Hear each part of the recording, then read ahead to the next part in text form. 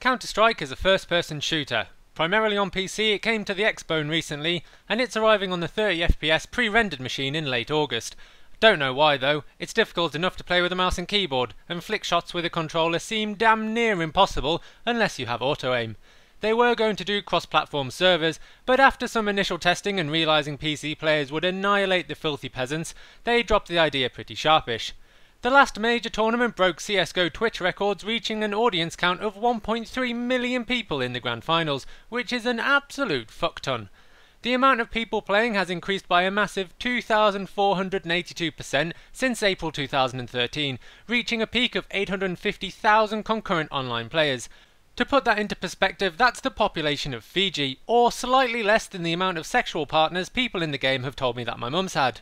Throughout the series, starting with Counter-Strike 1.5 through to the newest update Global Offensive, the game has remained largely structurally the same in terms of maps, objectives, guns, game mechanics and the prevalence of hackers. But in the newest game they added one small change and suddenly it's exploded to become monstrously huge.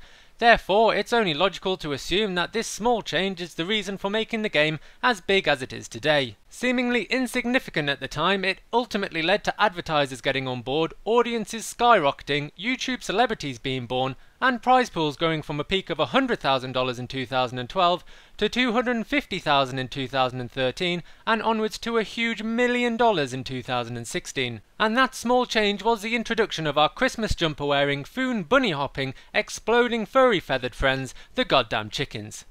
But surely the chickens don't affect the fucking game at all, I hear you say. Well, wait a bloody second and let me explain.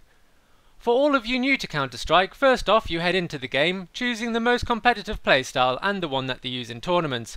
Once you've chosen a selection of maps you wouldn't mind smashing noobs on, it'll sort you out with a game of 5 versus 5 other players on one of the random maps that you've picked.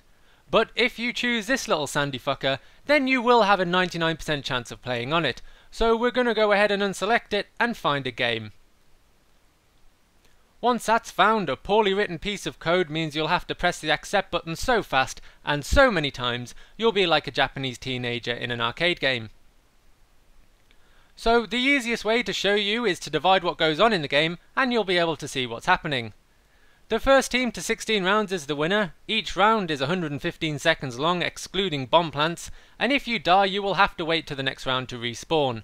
Dying early in a round is a sure sign of a retard, Leaving your team at a 4 versus 5 deficit means you've basically lost the round. So people just chill and wait for the other team to make a mistake. So, to pass the time, people shoot our avian friends. The game, game breaking bugs here. Do it, do don't, it. Don't hump the chicken! don't hump the chicken! They hump them, chase them, and literally spend the first 40 seconds of each round harassing our poor chickens. And if you're unfortunate enough to be playing against the professional Team Na'Vi, who only execute their strategies in the dying seconds of each round, even more of the game is dedicated to chicken harassment, and a fair amount of it is a stand around with a gun simulator. Evidently, the primary game has changed to chicken killing, and clearly people fucking love it. Much more than the original game, judging by its astronomical northward spike in players since CSGO started. It's exploded, ironically much like the chickens. So, I for one wanted to make this video to thank our chicken overlords, without you the game would have never become so big, and I'd be out of a job.